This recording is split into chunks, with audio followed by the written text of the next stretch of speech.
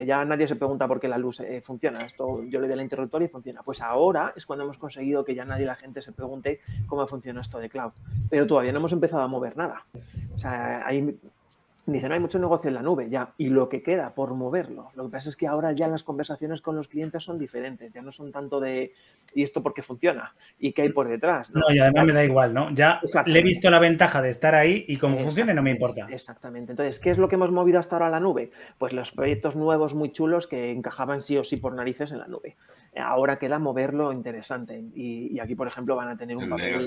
Mover los claro. Bueno, aquí, aquí tienen que entrar los partners. Los partners son los que tienen la cercanía eh, a los clientes, conocen su legacy y su core y van a decir, oye, esto ya tenemos que dar una evolución. Entrarán por los SAPs, los oracles y estas cosas que son un poco más, más complicadas. Lo divertido. lo divertido, exactamente, lo divertido. Donde justificas el sueldo.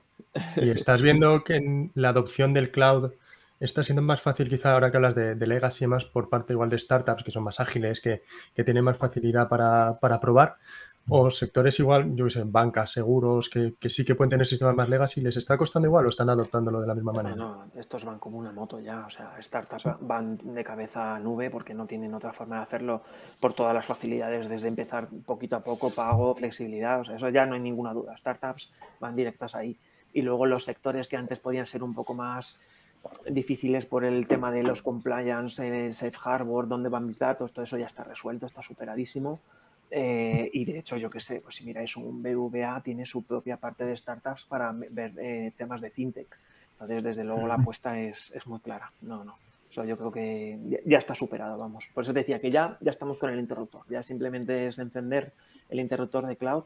Ahora, ¿dónde vamos? Que yo creo que es un tema súper interesante y que, y que Microsoft ha hecho un movimiento hacia ahí que me gusta muchísimo es qué pasa con el governance. O sea, todo esto ahora hay que manejarlo. Eh, antes teníamos... Azurear, que es vuestra joya. Exactamente. De hecho, si te fijas, Azurear que está pensado para manejar cualquier cosa, no Azure, sino también lo de Amazon, lo de Google, lo de on-premise, eh, lo que tengas en VMware, etcétera, etcétera. Porque el cliente tiene muchas cosas y empieza a tener ya una situación compleja de manejar. Entonces, la parte de, governance eh, va a ser lo siguiente, porque hay que ayudarles, hay que ayudarles en esa parte y no en desplegar máquinas o contenedores, que eso ya está superado. Eso ya está superado.